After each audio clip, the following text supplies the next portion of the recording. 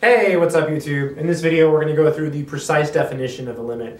I'm going to show you what the definition is and we're going to do a simple example of how to use the definition. Um, so let's start with the definition. The definition says that when you take the limit as n approaches infinity of a sequence, which we'll call a sub n, and if that's equal to L, this means this means that for every epsilon greater than zero, so let's not hold back. Let's use the, the pro notation to do this. So for all epsilon greater than zero, so that means for all. So for all epsilon greater than zero, uh, there is, there is, we can find a positive integer. So there exists, that means there exists a capital N. Now, typically we say this is a natural number, but I, I like to say positive integer because some people allow zero to be uh, a natural number, which I, I don't, I, a matter of opinion, but I don't like it. so there exists a natural uh, positive integer n such that for all little n bigger than capital N, we can make the distance between a sub n and its limit L arbitrarily small. So the distance function is the absolute value. So the absolute value of a sub n minus L is less than epsilon. So let's go over that again. So we say that this limit, a sub n, the limit of a sub n is equal to L means for every epsilon greater than 0, there exists a positive integer n, such that for all little n greater than capital N, the distance between a sub n and L can be made uh, small.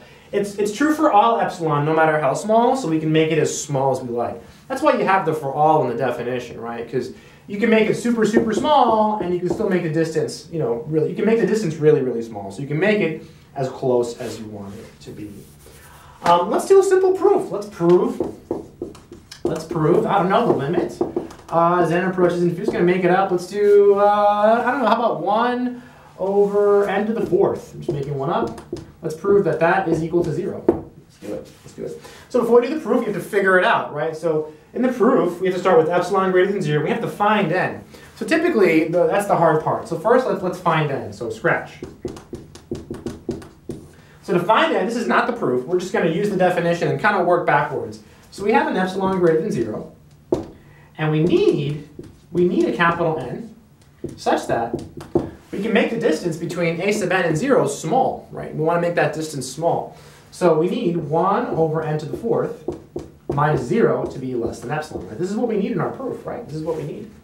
So now what you can do is you can solve this for n. So we have 1 over n to the fourth. You can drop the absolute value, right? Because it doesn't matter, right? Because n is, a, is an integer, so you don't care about the absolute value. And then to solve this for n, hmm, we can multiply by n to the fourth. So we have 1 less than epsilon times n to the fourth. Divide by epsilon. Well, I'm kind of fast. I think my battery on my camera is dying, so I think it might have died. I don't know. Let's keep going. And then you take the fourth root of both sides. So when you do that, you get n greater than the fourth root of 1 over epsilon. Right?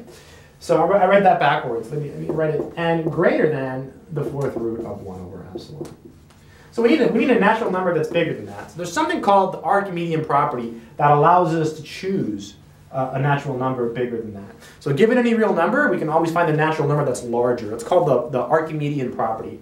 So we'll use that to choose our n. So we'll choose an integer n bigger than that in our proof. Okay, so keep that in mind. Let's do the proof now. I'm going to erase this. So proof. We'll let epsilon be greater than 0.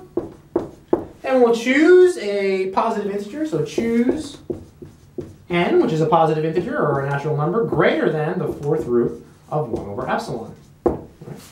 So for all epsilon greater than 0, we started with that, with our epsilon. We have shown the existence of an n via the Archimedean property. Then, for all little n bigger than capital N, we're going to look at the distance between 1 over n to the fourth and 0, just like we did, except we're going to show a little bit more work this time. So this is the absolute value of 1 over n to the fourth minus 0, which is equal to 1 over n to the fourth. Now let's carefully justify why this is less than epsilon. So since our little n is bigger than capital N, which is bigger than the fourth root of 1 over epsilon, right? We know that's true, right? And big N is bigger than the fourth root of 1 over epsilon. Let's, let's work this out and solve for 1 over n to the fourth. So I'm going to write this as follows. So this means that um, n is bigger than the fourth root of 1 over epsilon, right, writing it again.